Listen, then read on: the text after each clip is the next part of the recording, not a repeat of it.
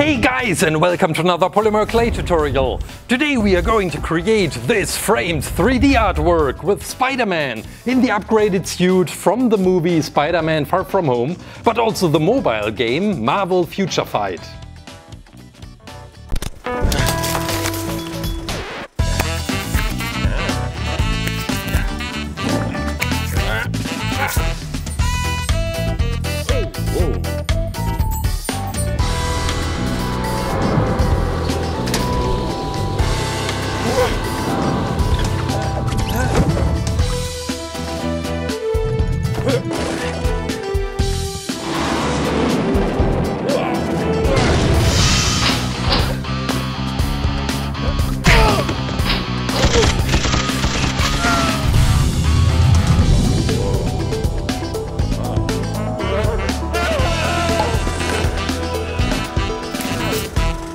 I claim. I'm really excited about today's creation, the framed artwork of Spider-Man, in order to get really good 3D images of the character and of the new suit. I partnered up with Netmarble's Marvel Future Fight and today's video is also sponsored by them, a game which is downloaded a hundred million times and it's my favorite Marvel mobile game so far and there are over 190 Marvel characters in the game you can play. We definitely should have a look at some gameplay later but let's first create the skeleton, the aluminum armature for our character, Spider-Man. If you're wondering why I am creating this posture, well, I thought to be um, anatomically correct, I would create just this regular normal posture and I would bend all the legs and arms after the main, the core creation is finished, because then I will be sure that all the legs and arms will be in the exact right position, but also they will have the right length. I hope you get me. Yeah, that's the upgraded suit you have just seen from the game. Maybe it's about time to tell you more about today's sponsor, Netmarble's Marvel Future Fight. Here we go. For those of you who are wondering what's the game about, well, you have to assemble your own ultimate team from more than 190 Marvel superheroes and villains. I told you that before. Fight for the future in different tasks, in different campaigns. With the upcoming new Spider-Man movie Far From Home, there's a lot of new content which was added to the game. We have the legendary battle, for example, or this character, Mysterio, for example, or Molten Man. Look at that I would really love to play as Molten Man in the game. But this is Spider-Man, the new suit I am creating and I am using the game as 3D model reference for my creation. Now, let's jump back to the creation itself. This is a really, really dark blue. I mixed it myself by taking the, I think it's called the royal blue together with um, some black and silver and you get this nice color. These images are all taken from the game, from Netmarble's Marvel Future Fight, to have a perspective from all sides of the character. Now we take some red, the second most important color for Spider-Man. These are the boots, which are red only, and we try to get them into shape as well and to get them onto the wire. Maybe some of you are wondering why am I creating a second Spider-Man on my channel, I've done that. Well, it's I think two years ago, the hanging Spider-Man, I will link it in the description. Um, well, I think I have two main reasons for that. First of all, I love Spider-Man. It's my most beloved Marvel hero, I think. As a child, I played Spider-Man all the time by throwing different ropes, white, white ropes, through our flat and playing together with my brother. Well, the second reason would be uh, the first creation I did, it's, well, just the Hanging Spider-Man. And I knew that I, back, back in the days, that I should have created a more action-oriented creation, like this one, like the one we are creating today. Again, this posture doesn't really look like action at all. It looks like, well, the one from the reference 3D models from the game but we will now try to bend it carefully. Oops, it, it cracked a little bit, but we will repair this in a minute. But you, if you if you make this technique, you make sure that all the posture looks natural, that it looks right. So it would be just too difficult to create a posture like this right away. I tried this many many times and most of the times it works somehow but when looking twice I see that let's say a leg is too short or one of the arms is a little bit crooked. Well, yeah, I think you get me. Now let's create the fingers. This one turned out pretty well.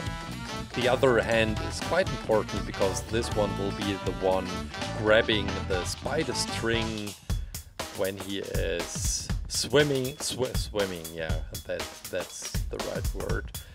When he is swinging through the city, through New York. These will be the eyes. And first I thought about painting them, so this would be also an option. If you have a black pen, acrylic pen for example, and a white one. Most of the time white is... Um, I don't know why, my white pens are all drying out really really quickly. The black ones are fine. So this time I decided to create the eyes with clay, a very very thin layer now this is silver, dark silver outline to the suit itself and we are ready to go into the oven. Freshly baked Spider-Man from the movie Far From Home, but also it looks like the one from the game Netmarble's Marvel Future Fight. Now I start painting because there is no way to create these tiny tiny spider web lines with clay. You would just go crazy probably over creating these tiny lines with black clay. Ah, you can try this. if you don't know what to do with your time. It turned out pretty great. Now the last lines of the spider web. And then, well, till now it's a quite regular tutorial, I would say. But now, well, not now, but in a minute, we are changing the workings place to create the city, to create the frame, the artwork itself, or the other part of it at least. I forgot to create the spider, so we finish this, of course, and close the pen and we are changing the working place. Still in the studio, but we have some more space right here for this huge frame I bought. I bought it for this project. Before we start creating the city, I wanted to show you two things from the game Netmarble's Marvel Future Fight. First thing would be the new stealth suit. First I thought about creating this one because it looks that amazing. I mean, look at the details. The mask. And the second thing I wanted to show you is the new theme which was added from the latest movie Spider-Man Far From Home. This is the legendary battle. You play as Mysterio versus Hydro Man. And there are even two further stages to the legendary battle where you play as Spider-Man using the stealth suit we have just seen and the upgraded suit from Spider-Man of course. Now let's switch weapons.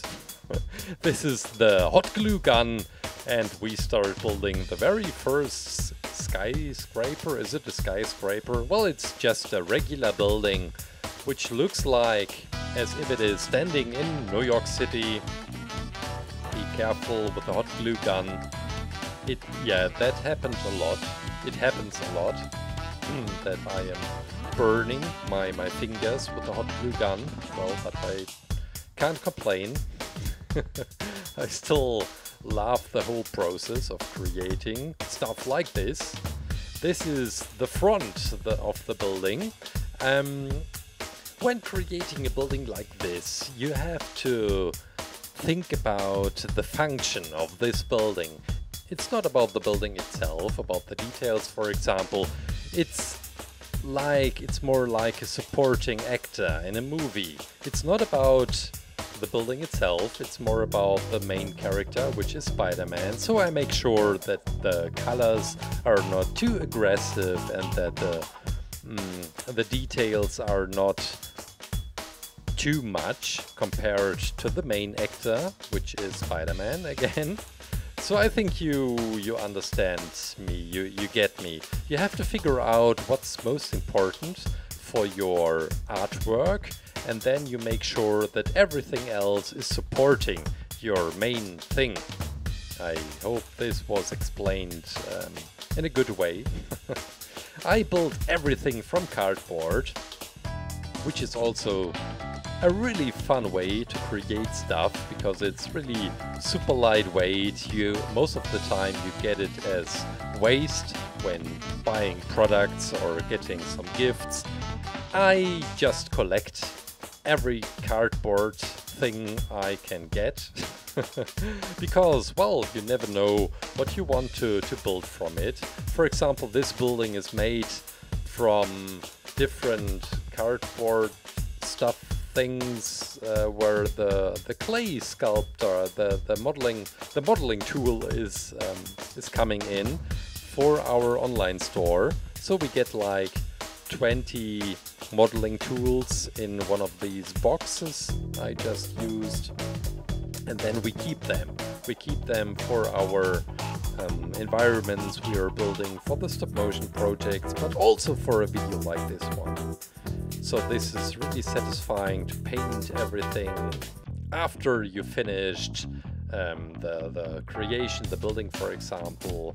I try to get in some more details. This is the second building and about this building we can even be more careless. This means um, less details and less strong colors.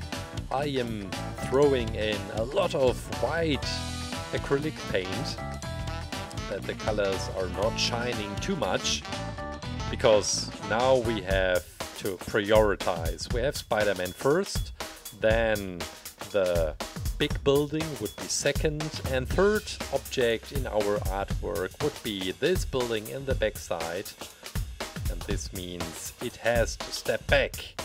These are the windows. I printed out some images from different games and movies because I was looking for a nice scenery from New York City from, from uh, Spider-Man's perspective. I am painting the sky from this image and then I just cut it out. It's not even a really good paper, it's just regular copy paper from our printer in the studio. I make sure to get this building right.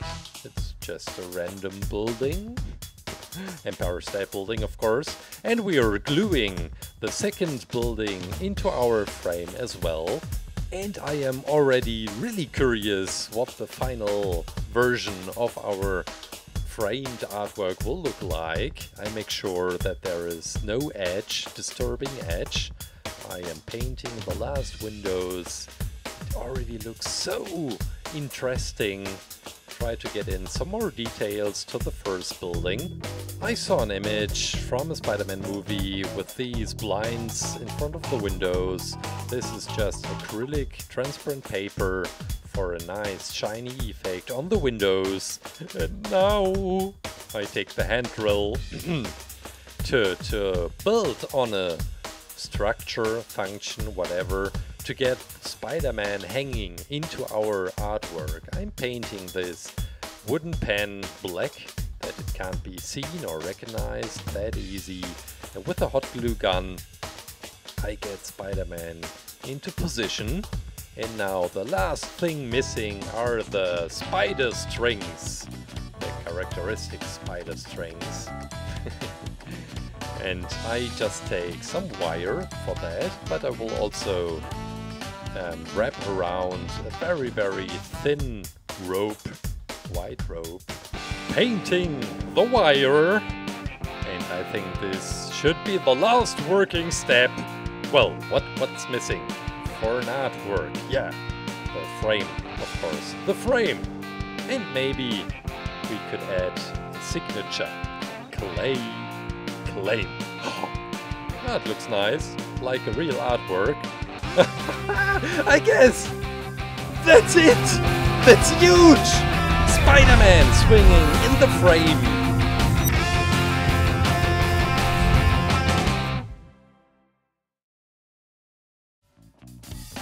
Before today's video is over, I would like to thank today's sponsor, Netmarbles Marvel Future Fight. Thanks a lot. Go check out this amazing game. Go check out this amazing character with the new suit, Spider-Man, the upgraded suit, also in the game. Download the game by using my link down in the description. I guess that's it for today. Have a great weekend and take care guys. Bye!